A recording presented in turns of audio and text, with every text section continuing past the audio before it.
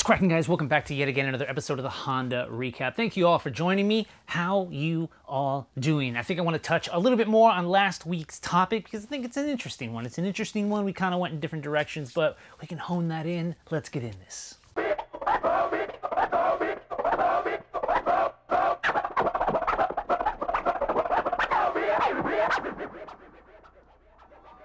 What's cracking, guys? Welcome back to yet again another episode of the Honda Rika Recap. How you all doing? Make sure you guys, if this is your first time, hit that subscribe button, hit that thumbs up, and that bell so you're notified every Monday night at 6 p.m. West Coast time when this airs. What's up to everybody in Premiere right now? I really appreciate you guys being here. Thank you for joining me another week. It's been a crazy one. Got a lot of stuff going on personally. I got about a month, month and a half before like, you know, huge stuff might be happening, at least in my life and stuff. So I don't know. I got to figure out how I'm going to move things, how I'm going to do a bunch of random crap.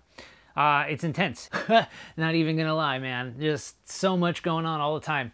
But I'm happy to be here. I'm happy to sit down, happy to talk with you guys, interact, and do everything that we do on Monday night. So, like I said, I want to jump into last week's. They might be kind of short, dealing with like a, you know, 50% battery right here, but I didn't want to miss a day. You know, I wanted to hang out, say what's up, say what's up to you guys in Premiere. Like I said, how you all doing?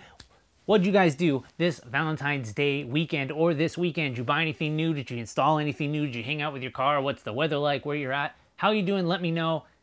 Let's get in this. Anyways, guys, last week we talked about a few things. You know, do people go from NA to boost out of boredom or is it next steps? What, you know, what's better? I think a lot of people in the comments basically kind of said what they thought was best. And then towards the end, we started talking about a little thing called OEM Plus, which is something I want to talk about a little bit more in this episode and uh, let's get into this. All right, starting off, we're going to go with Resto Tuner. We're super hoping for OEM Plus trend to continue, and we're happy to help. Awesome. I believe that uh, wholeheartedly. And if you aren't following or looking at Resto Tuner, definitely check them out. They have a lot of really uh, great products. You can find them. They have a website and they're also on Instagram. They create a lot of actual OEM plus type things. New uh, headlight gaskets, tail light gaskets, well, tail light gaskets, not headlight gaskets, but bolts, new stickers, things for the underhood, just kind of things that you can spruce your car up back to the way it was OEM with that freshness. Resto Tuners definitely check those guys out. Prolific Breed, what up, dude? How's it going? 10K so close. It's so true. We're almost at 10K, guys. So hit that thumbs up. Let's spread this spread this channel out to more people. You know what I'm saying? All right, that guy you know at work. I doubt OEM builds will catch on because of the prices for parts are too high. Unless you buy a clean SI or Type R, no other Honda is going to hold its value enough to justify OEM prices. Now, we can talk about this a little bit later too, but I completely understand where you're coming from on that aspect because uh, if you're gonna build for OEM Plus, it's almost like you want to start off with something that's gonna create value in the end, right? So like, in the end, if you wanted a, uh, OEM Plus like a, an EG like CX, that almost is worth it because you know it's the lightest one, so you're like, this will hold value. An SI, obviously, if you bring it all the way back, you will legitimately be like, okay, this is now worth money because I took the care and the time to build this up and now it's like super OEM and that's what someone's going to want in the future, right? Because the value is equal to what somebody wants to pay for it and I don't know how many people are going to be like I'm really looking for a clean like LX. You know what I'm saying? Kevin S. You should always build for NA first, then boost, brake, suspension, ECU, FBO, fuel cams, fuel cams, valve springs, and then you're at the fork in the road. ITBs or turbo kit. Leave the block stock until you have a full NA setup or a full boost setup, CSS block with pistons and rods. That basically covers it, you know what I'm saying? So when you come down to building for things, it is interesting that a lot of people, and I think this is probably a good way to go too, is bolt-ons are always first because you know you don't have to go inside but as long as you know that in the end everything you bolt on is going to help the motor breathe better at the end game when you finally take things apart and actually start building so i agree with you there man i agree with you there all right, automotive anatomy. I think that many people are building different for different reasons. Many people enjoy the boosted life because they experience a car that was boosted. I do see few people who go over the ITB and boosted setups because they are not as reliable and want to be continued for power.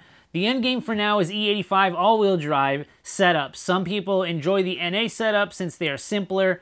Uh, awesome content, brother. Do more live sessions. Ah, oh, man, today was literally about to be a live session, but then I was just like, screw it, you know, like I'm gonna come down here and I'm gonna record and I'm gonna I'm gonna do the normal normal thing, you know. But um, might be doing a lot of live in the in the in the near future. In the near future, there was a lot more of you, but I kind of want to touch a little bit more on OEM Plus and digging into that. The OEM Plus look is starting to bring a lot of interest to a lot of people. right off the bat, we can talk about like Tommy F. Yeah, Tommy F. Yeah bought an ITR, Phoenix Yellow ITR, and it's super OEM. He bought it from a guy who put a little work into it, but nothing crazy, took everything apart, and I believe he was a Honda mechanic at the very beginning. Not Tommy, but the guy he bought it from. Um, but with that said, it is super OEM, and obviously we know Tommy FES channel. He's gonna OEM plus everything, zinc the world. You know what I'm saying? And I've been seeing things on Instagram where he may or may not have bought a 92 SI EG hatchback, which is also interesting because, like we just talked about not 30 seconds ago, an SI would literally be the one that you're like, I want to build on this platform, right? Now, what is OEM plus? You can find a super OEM car, you know, someone that, you know, grandma, grandpa drove, or even actually responsible adult. We've seen them before. Many years ago, I used to see this super awesome yellow CRX driven by this older woman, and she'd always be driving on the freeway. It was an SI. That thing would rip all the way up the freeways and things like that. And I kind of knew, like, you know what? If she's had that car since day one and it's still pulling, all the way up the freeway, like not even a problem. You know, she like changed lanes, she took off. I saw her all the time when I was making my commute. And I started realizing that there's a good chance that that car was taken care of just superbly. And that's why it can still boogie. You know what I mean? But with that said, you have a couple roads here that I think a lot of people want to take. You can either find a car that needs a little bit of work but is fairly complete. You pop the hood, it's not destroyed. Everything else, you're not dealing with rust or dents. And then the thought process forks in the road right there, you know, wheels, suspension, mods, all that stuff kick in. Or you can take the time and start to think to yourself, like, hey, you know what? This body looks really good. Where can I take this? You could go and you can look at all the OEM rubber that's on the car, you know, the lower control arms, upper control arms, ball joints, tie rods, all the mechanical stuff that's probably been there for like 30 years, and you can replace all that. Whether you want to replace it with new stuff or you want to replace it with OEM, you also can kind of go a different route. OEM Plus allows you to not be so OEM, but you can go and you can get, you know, PCI stuff if you really want. You know what I mean? If your car can do it. If you want to keep your EG, your EK, or or even your CB7s or or anything else, and you're just kind of like, hey, you know what? I love this car. I don't want to go full race with it, but I want to keep it as reliable and as steady as possible. So that's the OEM Plus route. So you could go and get all new poly bushings. You know, you can get the PCI upper control arms. You can get, you know, maybe rear sphericals. But then, then as soon as you go spherical, obviously that's more race. So it's going to get more noisy and it's not so OEM anymore, right? So you could want to back off a little bit and just get new rear bushings, press them into the control arms and go from there. But that's what I mean you can still play around a little bit, right? And I think one thing that a lot of people really don't pursue is the hardware. And when I say hardware, I don't mean Downstar, I don't mean MPC, but I mean actually maybe going to Honda if you want, if that's a route you want to do, obviously, you know, those those those uh, avenues exist. You can go all MPC, you can go all Downstar, you can go in X, Y, and Z to replace your hardware. You can do the beauty washer way as long as it's secure and it's new. And I feel like that's a big thing that a lot of people miss out. These are 30 year old cars. They've been on the road for 100, 150,000, 200,000 miles and things get rusty. The car may not rust, but the bolts could rust. You know what I mean? After the zinc kind of falls off, then you're just dealing with raw bolts. If nothing's been taken off in a while, those threads are going to start to bind. So it does help to go through your entire suspension take out all the bolts, clean them up, a little bit of anti-seize, throw them back in. Then at least in your head, you know, okay, when I got the car, just like most people do, you buy the car, you do all the fluids. That way you kind of like reset the mental uh, life of everything fluid-wise in the car to zero, and now it starts with you.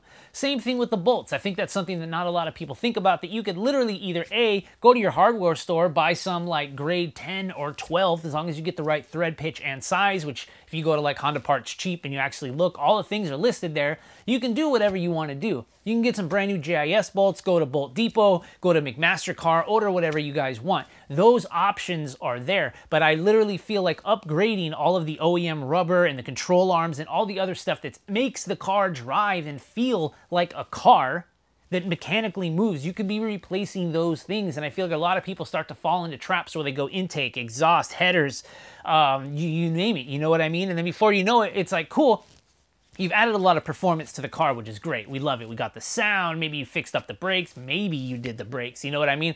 But the car's still like super floaty. You know what I mean? Like you change lanes and you, you kind of like you got an extra one of those, you know? Even if it's just a simple lane change, but you got like one more of those things. And it's most likely because your ball joints aren't exactly fully intact. So you're going to get that little wave. You know what I'm saying? So with that said, guys, OEM Plus, I feel like really is the route to head and maybe not 100%.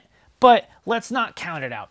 Maybe OEM Plus is the route to go when you get yourself a new car or you have the car you currently have right now and you're thinking, yo, I put a lot of money into this motor. I put a lot of money into the aftermarket mods, the interior, but you know what? Maybe I should go the other route. Maybe I should address all the rubber and maybe poly bushings that are underneath the car that are actually holding it together. I did a video not that long ago, well, probably a little bit longer now, where I talked about tires. Speaking of, you got to have legitimate tires. That goes along with the OEM Plus. You know, we could, you know, bundle that all up together because your tires are the only thing that touch the ground. If you're going to have some really, really, really cheap tires and you're just going to go out there in the rain, you know, I pray for you when you're out there taking turns and acting like it's a hot summer day, but you got like super high performance tires and they're bald. You know what I mean? Because they wear a lot different. But like I said, that OEM rubber and those poly bushings are barely holding on. And some of them are barely holding on just because you have a castle nut and maybe, and maybe you've got a pin in there. You know what I mean? And I, am calling myself out too.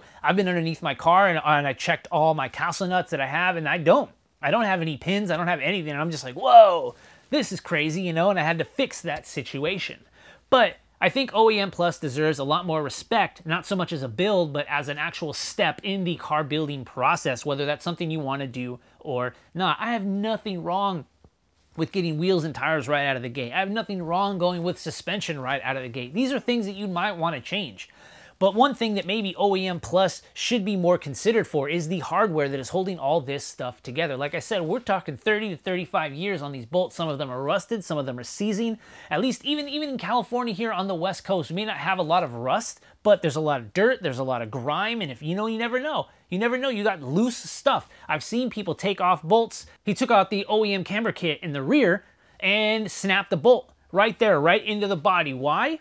Probably hasn't been taken out. That's no that's no knock on him. It's just more so like these are our cars. These are what we're driving right now, you know? You know, you don't want to even use impacts cuz man, sometimes I've gone in there with an impact and just blasted stuff, you know? So if you're going to take things off and you know they haven't been off in a while, probably doing it by hand is best. And if that snaps off by hand, imagine what you could do with an impact. Some might say, sure, sure, sure, but if you hit it with an impact, it would be so jarring it could have just came out, and maybe with the force of your hand, it twisted it wrong. But it's not so much about the impact and the force as much as the like degradation of the hardware. So again, again, I don't want to go too far off the reservation when I talk about this stuff, but like I said, replacing some of the OEM bolts might be something you guys want to consider when you do all of your bushings. I know a lot of people have done that. Sway bar bushings, everything else that may be creak. Let's bring the cars back to OEM spec quality and then maybe a couple notches. But like I said, it doesn't mean if you really want Skunk 2 camber kit, you can't go out and buy it. That doesn't mean that. You know what I mean? It just means that you are now looking at daily, daily reliability and day over day, let's call it just retention of your like actual conscious driving this car of like, cool, this is together. Now when I change a lane, I don't have that little extra whoopty, you know what I mean? It's just like, it's solid, it's there. It did exactly what you want it to do. And I think once we give OEM and OEM Plus a chance as far as a build, I think at some point people will start realizing like, hey, you know what? Maybe I don't want to go all out on this car. You know what I mean? We start to respect the brand of Honda a little bit more where they're like, dang, maybe that's why they sold like five cajillion of these cars that are still on the road because Honda quality was pretty legit. It's pretty legit. And it's also pretty legit that you could go and maybe spend $500 on a beat Honda Civic sedan and still mob with a 1.5 liter automatic because you got it for $400 uh, off the street with a for sale sign and you're still just whipping it on the back road praying nothing falls apart but for some reason nothing does now imagine the quality that went into the bushings and the bolts and everything else that that car needed to be made 30 to 35 years ago is still holding strong. Imagine how much better that would be if you got to feel that car in its current visual condition with brand new suspension, brand new, not so much bolts, but just rubber. You know what I mean? New tie rods, new bushings, new lower control arms, just all this stuff that makes it feel like, dang, this is a brand new car. Anyways, guys, you know what? I'm gonna cap it. I'm gonna cap it right here. Actually, I'm gonna cap it right here so we can discuss a little bit more on OEM and OEM Plus. Now, I believe that a lot of people talked about, hey, this is gonna get expensive because buying OEM parts is actually getting really, really pricey right now. But why is that? Why is that? Because nobody's buying them, Honda's not making them, so what you can find now is gonna get more expensive due to supply and demand and the fact that, you know what, once you buy those, you probably don't need to buy them again. So they made as much as they could to support what they had out there. As they saw nobody was buying anymore, they probably figured, and by they I mean Honda, like, eh, we don't really need to keep making these parts. You know what I mean? And I'm not talking about like side moldings and license plate covers and things like that. I'm talking about like just OEM control arms. And now if you want one, what is it, probably like 300 a set or some crazy thing like that. And you're like, screw that. I can just go buy Skunk 2 lower control arms and it's half the price. And it's like, you could do that. You could do that. And there's nothing wrong with that because you're getting, you know, a billet lower control arm, but brand new bushings, and that just brings the whole car back to life. So like I said, OEM to OEM plus, guys, I think it deserves a little bit more respect. And if we drive and we build our cars to OEM, OEM plus spec as a direction, we can do whatever we want after that, knowing that we built a car as satisfactory as it did when it left the dealership and or the assembly line 30 years ago. And now if we want to throw on bolt-ons and start working on the motor, we know that that chassis is solid for probably probably another 20 years. Unless you went full poly, I think poly kind of degrades a little bit more. Energy suspension is good, but I don't know if it's going to last as long as like rubber, and especially the hard rubber that we got back in the day. But like I said, guys, let me know what you guys think. Let me let's let's dive into OEM and OEM Plus a little bit more. I think a lot of you are really gonna like this idea and like this direction, but we also like you know the track build and we like the other kind of stuff. But I truly believe that if you get a new car and you go this direction, first and foremost, you save yourself a lot of things later and you'll gain a little bit more enjoyment and maybe you'll surprise yourself. Maybe you'll surprise yourself when you go do a canyon run and all you did was replace bushings. It's amazing to see how those motors can still pull our car if as one cohesive platform. Anyways, guys, that's it. That's it for me. All right, guys, that's it for me. Make sure you guys hit that subscribe button, hit that thumbs up and that bell so you're notified every Monday night 6 p.m. West Coast time when this airs. Hanging out, talking talk it, hanging out, talking topics, going over things on a weekly basis. Thank you to everybody in Premiere right here who has showed up to hang out. I appreciate every single, every single, every single one of you guys. I'll see you guys next week. Peace.